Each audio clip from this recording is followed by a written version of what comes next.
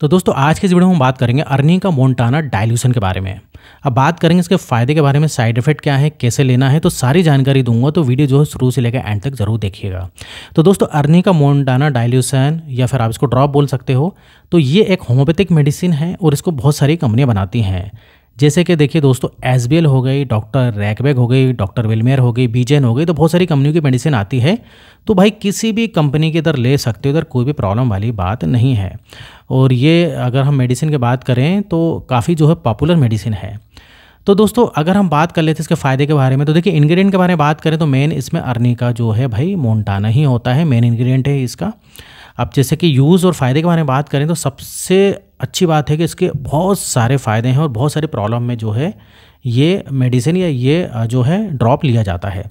अब जैसे कि देखिए, अगर आपको कोई चोट वगैरह लग जाती है, कोई चोट लग गई है, कोई इंजरी हो गया है, अब देखिए कई बार क्या होता है, जब चोट लगती है तो वहाँ पर नीला नीला पड़ जाता है।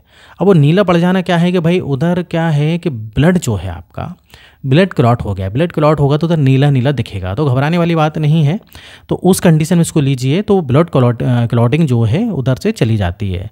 तो चोट है, कोई अंदरूनी चोट लग गई है तो उसमें फिर दर्द वगैरह भी होता है। इस टाइप से नीला नीला पड़ जाता है तो उसमें आप बिल्कुल लीजिए इसको। इसके अलावा देखिए कोई मसल्स की इंजुरी है मसल्स में क्रैम्स वगैरह है, उसमें ले सकते हैं। यहाँ तक कि देखिए जो जिम वगैरह जाते हैं तो उनको इस टाइप से प्रॉब्लम होने लगती है। मसल्स में इंजुरी होने लगती है। कई बार काफ़ी ज़्यादा दिक्कत होती है तो वो ले सकते हैं। कोई चोट लग जाती है, उसमें ले सकते हैं। इसके अलावा देखिए पोस्ट सर्जरी अगर किसी को कोई भी ऑपरेशन वगैरह होता है तो ऑपरेशन के बाद देखा होगा, उस हिस्से में भाई काफ़ी दर्द होता है। काफ़ी जो है प्रॉब्लम होती है तो उस कंडीशन में भाई इस अर, जो है अर्नी का मोन्टाना को ले सकते हो। इसके अलावा अगर जोड़ों में दर्द वगैरह होता है जोड़ों में स्वेलिंग वगैरह आ जाती है तो उसमें ले सकते हैं या फिर लंबर पेन है या फिर कमर में दर्द होता है कई बार देखा है। अब देखिए ऐसा भी होता है ना जिसका बैठे बैठे बहुत काम है लंबे समय तक बैठे रहते हैं या फिर कोई ड्राइवर वगैरह है लंबे समय तक गाड़ी वगैरह चलाते हैं तो कमर में भाई प्रॉब्लम तो होना तय है एक समय के बाद। तो ऐसा कुछ भी है तो वो भी इसको ले सकते हैं उनको बहुत ही अच्छा फ़ायदा इसका देखने को मिलेगा। अब इसके अलावा देखिए बर्निंग सेंसेशन होता है। अब बर्निंग सेंसेशन देखिए इधर पर। कहीं पर भी हो सकता है, ये कान में हो सकता है और इसके अलावा किसी भी हिस्से में अगर आपको जलन टाइप होती है या सोइलिंग वगैरह आती है तो उसमें आप इसको ले सकते हैं। अब कई लोगों में देखा है कि उनके कान में बहुत ज़्यादा दर्द होता है, बर्निंग जैसा लगता है तो उसमें आप लीजिए, फ़ायदा मिलेगा।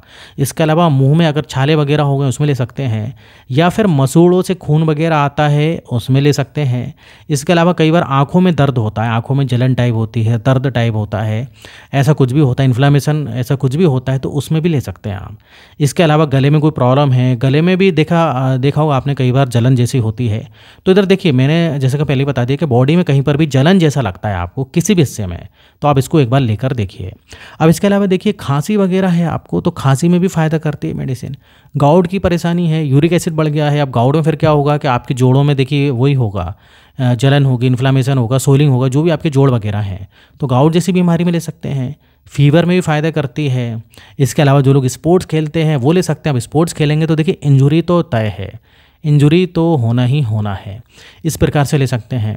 तो देखिए, जैसे कि अंदरूनी अंदरूनी जो इंजुरी होती है ना तो उसमें भाई जो है इसका जो है ऑइंटमेंट भी आता है, वो भी लगा सकते हैं। लेकिन अंदरूनी अगर कोई खून बह रहा है कहीं तो फिर जो इसका जो ऑइंटमेंट आता है, उसको नहीं लगाना। है हाँ ये ड्रॉप ले सकते हैं क्योंकि ये पीने वाला ड्रॉप है तो ऐसा भी आप कर सकते हैं। तो भाई, ये थे इसके मेन फ़ायदे जो मैंने बता दिए। इन सारी कंडीशन में आप इसको ले सकते हो। अब बात कर लेते हैं डोज के बारे में। तो देखिए, इधर आपको थर्टी सी में लेना है थर्टी पोटेंसी में लेना है। हालाँकि ये बहुत सारे पोटेंसी में अवेलेबल हैं लेकिन इधर मैं रिकमेंड नहीं करूँगा, उसके लिए जो डॉक्टर सलाह करें, बाकी आपको अगर लेना है तो थर्टी पोटेंसी में लें, बेहतर रहेगा। अब भाई, इसके जो है, आपको तीन से पाँच ड्रॉप लेने हैं, और वो भी आधे कप से भी कम पानी में लेना है, और लेना है दो से चार बार। ज़्यादा प्रॉब्लम है तो जो है चार बार, ज़्यादा प्रॉब्लम नहीं तो दो बार ले सकते हैं। लेकिन कई लोगों में देखा कि बहुत ही ज़्यादा समस्या होती है तो फिर उनको तीन से पाँच ड्रॉप से शायद फ़ायदा ना मिले तो कुछ दिन तक आप ऐसा कर सकते हैं कि दस से पंद्रह ड्रॉप ले सकते हैं कुछ दिनों तक। तीन से चार दिनों तक अब जैसे ही आपको आराम मिल जाता है तो फिर से जो है आप तीन से पाँच ड्रॉप पे आ जाएँ। तो दस से पंद्रह ड्रॉप तक भी कर सकते हैं, अगर आपको बहुत ज़्यादा प्रॉब्लम है और जल्दी आराम चाहिए तो। इस प्रकार से लीजिए, दो से चार बार लीजिए, जैसे मैं बताया कि देखिए, इधर मैं एक चीज़ बताना चाहता हूँ प्रॉब्लम के अनुसार, बीमारी के अनुसार किसी भी मेडिसिन के डोज होते हैं, ये बात आपको ध्यान में रखना होगी। तो इधर जो जनरल आइडिया वो मैंने इधर दे दिया बाकी अधिक जानकारी के लिए जो है आप डॉक्टर जो होते हैं होम्योपैथिक डॉक्टर होते हैं, उनसे चाहें तो मिल सकते हैं। अब भाई बात करते हैं कौन कौन ले सकते हैं? तो सभी ले सकते हैं मेल फीमेल सभी ले सकते हैं, बस प्रेगनेंसी में इसको नहीं लेना है। प्रेगनेंसी में लेना है तो डॉक्टर से सलाह करें। बाकी बच्चों के बारे में बात करें तो बच्चा बड़ा है तो ले सकता है, अगर बच्चों में इस टाइप से प्रॉब्लम है तो। हालाँकि बच्चों में इस टाइप से प्रॉब्लम कम देखने को मिलती है, लेकिन फिर भी हो जाए तो आप बच्चों को जो है दे सकते हैं, करीब दो से तीन ड्रॉप दे सकते हैं, लेकिन बच्चा देखिए छः साल से छोटा नहीं होना चाहिए। छः साल से छोटा है तो भाई डॉक्टर से इस फिर सलाह करना है। छः साल से बड़ा है तो आप उसको जो है दो से तीन ड्रॉप एक दिन में तीन से चार बार चला सकते हैं। थोड़े से पानी के साथ या फिर एक चम्मच पानी के साथ दे सकते हैं। अब देखिए साइड इफ़ेक्ट इसका कुछ भी नहीं है, बिल्कुल ले सकते हो। और इधर कोई दूसरी मेडिसिन पहले से ले रहे हैं तो वो भी आप लेते रहिए। बिल्कुल बंद करने की ज़रूरत नहीं, चाहे वो एलोपैथिक में होम्योपैथिक में हो या फिर आयुर्वेदिक में हो। अब साथ ही साथ जो है, अगर आपको ज़्यादा प्रॉब्लम जो है लगती है तो एक बार डॉक्टर सलाह ले सकते हैं।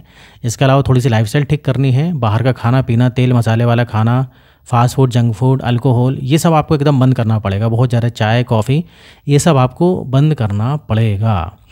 तो दोस्तों, इधर वीडियो खत्म होता है। उम्मीद करता हूँ वीडियो पसंद आया होगा। वीडियो पसंद आए तो वीडियो को लाइक करिए और इस टाइप से वीडियो बनाते रहता हूँ मैं। हेल्थ और मेडिसिन से संबंधित, अगर आपने अभी तक मेरे चैनल को सब्सक्राइब नहीं तो चैनल को सब्सक्राइब कर लें।